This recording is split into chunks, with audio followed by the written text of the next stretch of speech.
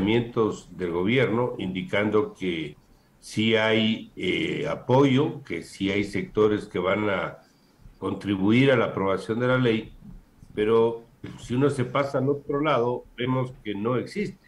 Así que sigue siendo una incertidumbre la eventual aprobación o no. Lo de fondo es que el Ecuador, eh, independiente del gobierno, necesita eh, un manejo ordenado de las finanzas públicas y dentro de eso hay un problema fiscal que tiene que resolver y para ello se necesita eh, el incremento de ingresos y la reducción de gastos. En el segundo caso, no ha habido todavía eh, el eh, monto o la reducción que se quisiera. El, el, gobierno ha dicho que tres cuartas partes del ajuste va a venir por el lado del gasto y una cuarta parte por el lado del ingreso. Este momento estamos viendo un esfuerzo en el lado del ingreso pero todavía no vemos una reducción importante en el lado del gasto. Ojalá esto se produzca hacia adelante, pero en el caso del ingreso hay que recordar que esto va atado o debería estar atado al presupuesto que se acaba de enviar para el año 22 a la, a la eh, obviamente el programa cuatrianual del gobierno y al programa con el Fondo Monetario. Eh, si esto no llega a ser aprobado, existe el riesgo de que eh, no se cumpla la meta cualitativa del programa y esto obstaculice el financiamiento que se está esperando. Todavía faltan 700 millones de dólares del Fondo Monetario para este año, eh, recursos de la, del resto de banca multilateral y lo que está para el próximo año, que son mil, solo del fondo son mil millones, más el resto de financiamiento que suma cerca de cuatro mil solo de los multilaterales. Y esto obstaculizaría eh, el cumplimiento de ciertas metas del propio gobierno. Es decir, el costo de no tener una aprobación de la ley probablemente es bastante más oneroso que el beneficio político de algunos porque ésta no procese.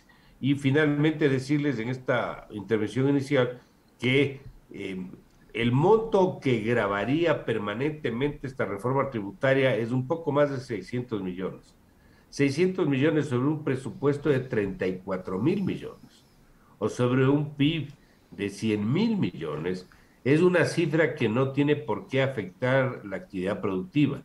Si esto contribuye a que el riesgo país baje y el financiamiento baje, lejos de complicar la activación económica, eh, esta se va a reanimar. Es decir, no es correcto técnicamente eh, aceptar el criterio que tienen algunos colegas en el sentido de que la reforma va a desacelerar la economía o va a impedir que ésta pueda eh, recuperarse. Así que un poco para ponerlo de, en, ese, en ese entorno y además decir que no veamos la reforma o el proyecto tributario como un tema aislado, tiene que vérselo en la totalidad en la integralidad del manejo económico para ver si esto tiene o no tiene sentido. Ahora, pero economista, revisando la proforma y lo que ha hecho o lo que ha podido hacer el gobierno en lo que va de, de, de, este año, sus seis meses, eh, no hay una reducción del gasto importante tampoco y tampoco lo hay en la proforma presupuestaria para el 2022. Es correcto lo que usted dice, es lo que usted dice es correcto. Lo que pasa es que los fenómenos, las acciones de política económica no necesariamente tienen que ser simultáneas. Lo importante es que en el transcurso de la gestión se vayan dando em, este tipo de decisiones. Por eso es que yo decía que, por ejemplo, el mismo gobierno ha hablado de la eliminación del ISD, el impuesto a la salida de divisas. Puede haber sido importante o pudo haber sido importante que se anuncie, aunque sea tentativamente, ciertos montos y fechas de reducción del impuesto. Y eso no ha pasado. Eso no ha pasado, pero esto le, eso le pudo haber dado algo de muñeca política al gobierno para la negociación en la Asamblea. Y digo esto porque eh, usted estaría dando una señal de cerrar la mano por un lado y abrir la mano por el otro.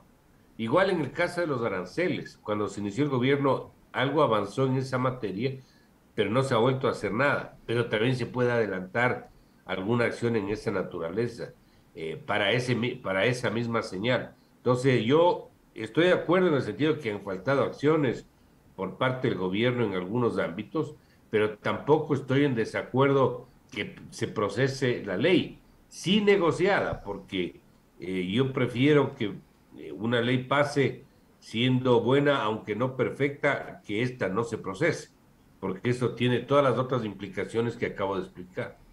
En el caso puntual, por ejemplo, de eh, esta base impositiva para que las personas que ganen, eh, bueno, la propuesta del gobierno era desde los dos mil dólares mensuales, después se habló dos mil quinientos dólares mensuales, ahora se habla de dos mil seiscientos dólares mensuales. La oposición dice que solo se está recargando a los mismos de siempre en el caso del cobro de impuestos. ¿Qué pasa con los evasores? El gobierno ha señalado que más de 7 mil millones de dólares se pierden al año por evasión de impuestos.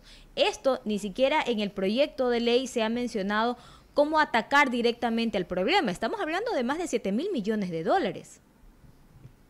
No hay cómo em, sustentar una proforma de presupuesto o una ley de esta naturaleza sobre bases inciertas. ¿A qué me refiero? El problema de elevación es un problema que tiene que ser atacado, pero no sabemos cómo va a avanzar. Es decir, no tenemos certeza en qué tiempo y en qué magnitud se va a ir resolviendo el problema. Entonces, sustentar un manejo fiscal sobre una variable que es incierta eh, no es correcto, técnicamente es un error. Esto no quiere decir que no se lo haga, hay que hacerlo, pero no hay cómo basarse en una expectativa que puede cumplirse, no puede cumplirse, puede cumplirse en una eh, porción pequeña o, simplemente no darse, es decir, no, eso no es correcto, pero igual, sin duda alguna, tiene que eh, caminar el gobierno en esa dirección eh, y eventualmente manejar las expectativas eh, con algún anuncio de, como usted menciona, de algún, aunque sea de manera somera, eh, ¿cómo lo va a poder lograr? Porque efectivamente los que han pagado impuestos son los que van a seguir pagando impuestos. Y si usted hace aumento salarial, eh, impositivo, los que no pagaban impuesto, mañana tampoco lo van a hacer. Entonces hay que ver cómo esas personas se incorporan al circuito tributario que es lo de fondo. Eso que también se había ofrecido en un momento, pero después se dio paso atrás. Ahora, pensando eh, un poco más adelante y teniendo en cuenta que en la Asamblea no todos están a favor y una gran parte no está a favor de este proyecto de ley, ¿Qué le queda al gobierno para el próximo año para recibir eh, dinero? Porque seguimos, bien es cierto, recibiendo dinero de los multilaterales, estamos en una buena relación con el Fondo Monetario Internacional, pero necesitamos más ingresos para cubrir el déficit. En un momento, el ministro de Economía y Finanzas, eh, Simón Cueva, habló de bonos, emitir nuevamente bonos, pero Ecuador está en condiciones de emitir nuevamente bonos. A ver, em, ser sujeto de crédito en los mercados internacionales no es malo. Es bueno que le abran las puertas para financiamiento externo. El gran problema de esto es que em, para poder emitir bonos del mercado internacional en buenas condiciones, usted necesita, por ejemplo, un riesgo país menor. Si usted tiene un riesgo país alto y sale a emitir bonos, le va a costar más. Puede estar pagando con riesgo actual cerca de 9%, que es una tasa eh, muy alta. Pero, perdón, pero eh, hay que ver hacia adelante qué va a pasar, porque si el riesgo país no se mueve y emiten bonos en alguna fecha el próximo año y paga esa tasa, ¿qué pasó entonces con la renegociación que hicimos como país hace menos de dos años? Recuerda que se renegoció la deuda con los tenedores de bonos y, por ejemplo, la tasa que pagaba el país, que en promedio era del 9.2% al año, bajó al 5.3. A menos de dos años estaríamos, o a los dos años estaríamos emitiendo papeles otra vez al 9%. Es decir, esto eh, sería una mala señal, pongámoslo así, eh, en cuanto al manejo del riesgo país. Por eso es que eh, el que el, gobierno pueda continuar en una ruta, tener el apoyo internacional, aprobar estas reformas legales, va a contribuir a que el riesgo país baje y va a facilitar que el día de mañana el gobierno requiera eh, más fondos, por ejemplo, de una fuente internacional. Estamos conversando con el economista Mauricio Pozo, ex ministro de Finanzas. Mi compañero Carlos Zacoto se suma a esta entrevista. Carlos, por favor. Economista, muy buenos días. Qué gusto saludarlo. Bienvenido nuevamente a Caché Noticias. Hablemos, por favor, de la proforma presupuestaria 2022. Ha sido observada por la Asamblea Nacional. Hay algunos asambleístas que le dicen al ministro de Finanzas, Simón Cueva, que por favor aterrice el precio del petróleo. Se espera un precio mucho más alto, que se mantenga durante varios años más. El, ministro ha sido cauto, poniéndolo entre 50 más menos, presupuestando eh, los valores eh, del gobierno o del Estado, más bien en base a esa, eh, ese valor bastante cauto, como decía. Él está haciendo lo correcto. Más vale prevenir que lamentar, como dicen algunos, o sí vale la crítica que hacen algunos sectores de, eh, por ejemplo, UNES, en este caso, señor eh, Pozo? Bueno, el UNES va a oponerse a cualquier cosa que venga el gobierno, no importa si está mal o está bien. Eso ya sabemos por una posición política de ese grupo. Pero lo de fondo es que eh, cuando usted hace una proforma de presupuesto, tiene que tratar de ser lo más prudente posible si vale el calificativo. Eh, lo más cuidadoso. El que usted, por ejemplo, tenga una expectativa de que el precio va a estar muy alto, mientras usted más se acerca a esa expectativa, más vulnerable se torna, porque va a estar atado a que ese precio se mantenga, pero la volatilidad del precio va a provocar que el ingreso por exportaciones del presupuesto sea también incierto y por lo tanto el gasto atado a ese ingreso también va a tener una duda en cuanto a su ejecución. Entonces, es mejor y es mucho más eh, técnicamente sólido alejarse de ese precio y mantener un precio lo suficientemente prudente en distancia de tal suerte de que así fluctúe el precio, eh, ustedes tenga asegurado el ingreso y por lo tanto tengo asegurado el financiamiento. Entonces yo creería que en ese sentido el gobierno sí tiene un precio yo diría, medianamente aceptable. Y digo medianamente porque a mi gusto yo quisiera un precio menor, eh, al revés de lo que pueden pensar algunos, ¿Sí? por la razón que acabo de citar. Pero obviamente existen restricciones fiscales que eh, probablemente no, no permitan reducir más el precio del barril, pero no creo que en los supuestos de la proforma eh, se vea que existen problemas mayores. Eh, me, refiero no supuestos. Tengo comentarios, sí, en, otras, en otros temas, pero en los supuestos yo no le vería mayores problemas de la proforma enviada. Solo para poner en contexto, el presupuesto general del Estado ascendería a 33.899 millones de dólares, lo que significa un incremento de 2.438 millones de dólares con relación al codificado del 31 de agosto de 2021. Esto incluyendo la cuenta de financiamiento de derivados deficitarios, que es de 4.323 millones de dólares y que refleja los costos y el subsidio estatal para la importación de derivados de petróleo como el GLP, las gasolinas y el diésel. Usted ha dicho algo importante. Tengo reparos en otros puntos de esta proforma. ¿En qué puntos específicamente, economista Pozo? El gobierno ha anunciado que en el proceso de saneamiento de las finanzas públicas, dije algo hace un momento, em, el grueso del, programa se va a sustentar en la reducción del gasto. Tres cuartas partes en la reducción del gasto y una cuarta parte en el incremento de ingresos. En la proforma enviada todavía no se ve eso. Todavía se ve que el manejo del gasto no se reduce y el incremento de ingresos eh, obviamente podrá subir en función de lo que ocurra con la ley em, tributaria que está este rato analizando. Entonces, pues, ahí tengo yo un comentario, un problema em, que me preocupa. El segundo es lo que también expliqué hace un momento. El financiamiento del próximo año, atado a la emisión de bonos, eh, sí me genera una eh, duda por la razón que expliqué. cómo voy a manejar el riesgo país y cómo voy a hacer a que no se eh, dañe la señal que se dio cuando se emitieron los tres bonos que reemplazaron a los diez bonos anteriores, pero en mejores condiciones, la renegociación que se hizo en el 2020, que es otra preocupación eh, que tengo en materia presupuestaria. El tercero es que eh, hay mucha, yo diría, preocupación que todavía no se ve acciones que permitan otro tipo de austeridad en, otro, en otros ámbitos de la esfera pública.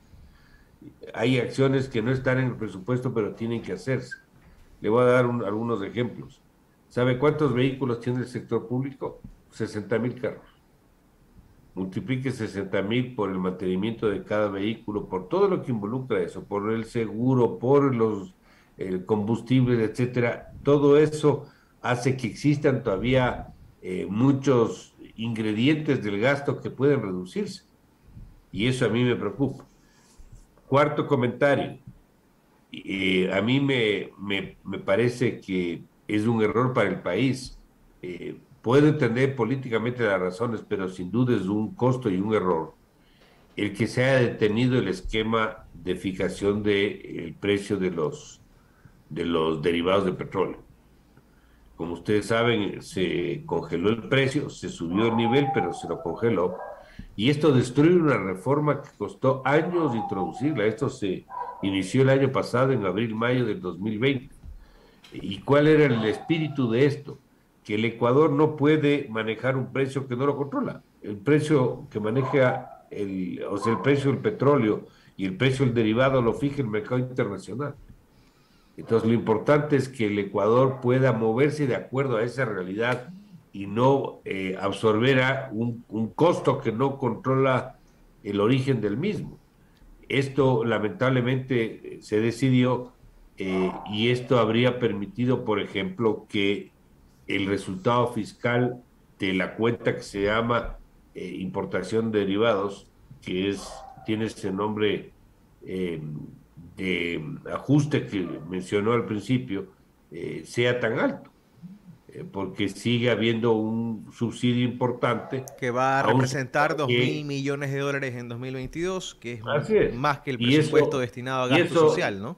Y, no es un subsidio que, que realmente proteja a los que deben proteger.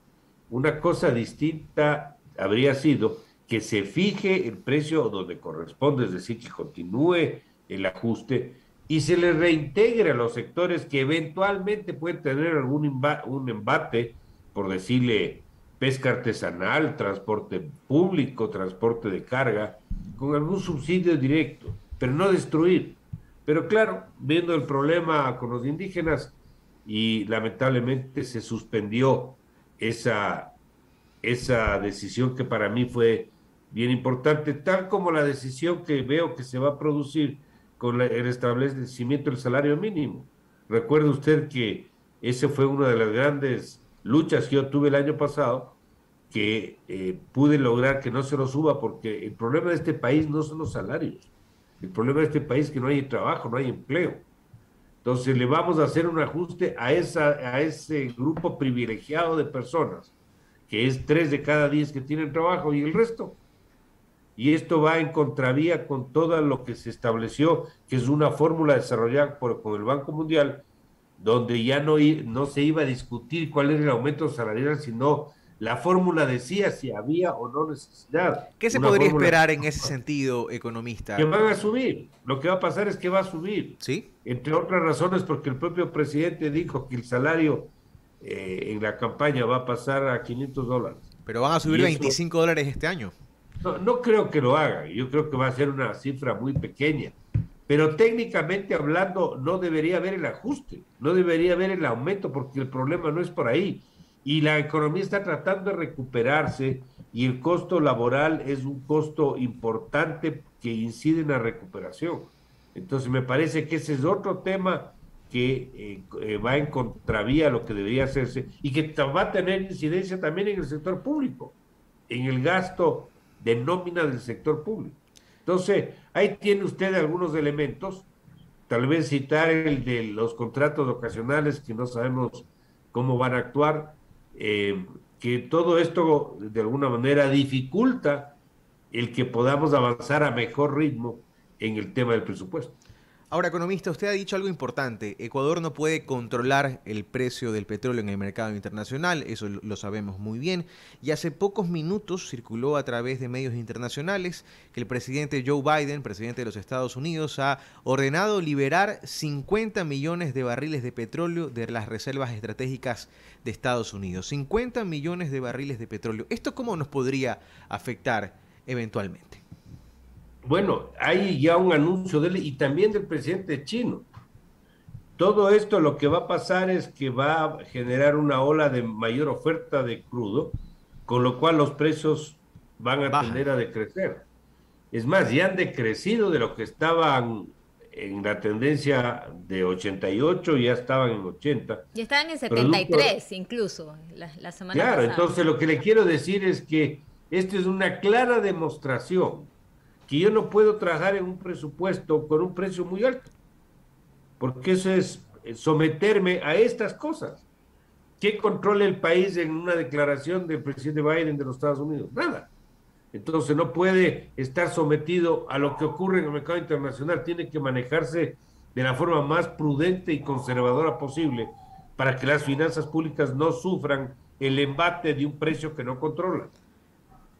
7 de la mañana con 26 minutos. Queremos agradecerle al economista Mauricio Pozo, exministro de Finanzas, por acompañarnos esta mañana aquí en Caché Noticias. Muy amable economista. Muchas gracias por la entrevista y siempre la orden.